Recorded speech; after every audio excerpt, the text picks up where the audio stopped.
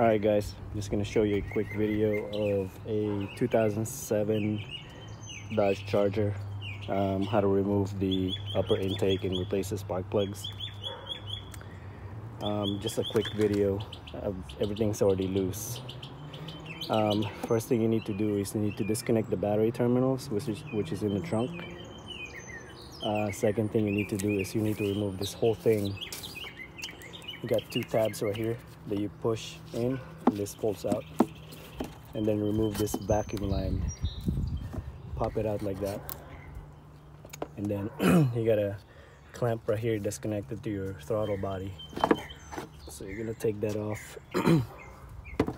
And you have this uh, uh, air sensor that you need to disconnect. Just remove that like that. Once you do that you're gonna have this connector. It's a tab that you need to push down pull it out. Disconnect the harness for the throttle body. You don't have to remove the throttle body but I took it out anyway because I need to clean that off. Once you take that off you got two vacuum lines right here that you need to pop out like that and then you're gonna have the EGR port that you're gonna remove but you need to disconnect or disconnect this connector right here. Take that off and then you're gonna have two bolts here.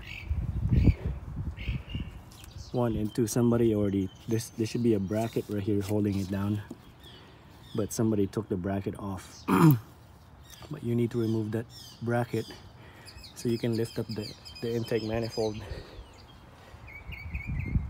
Um, then you'll have one two three four five six seven 10 millimeter bolts that you need to remove. This bolt doesn't come off it stays in the intake.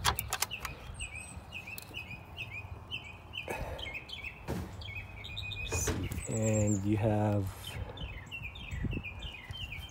this transmission uh, dipstick that pops out like that. And you have this line vacuum line again that you need to take off. Once you take that off this whole thing lifts up. And then you can push this out like that.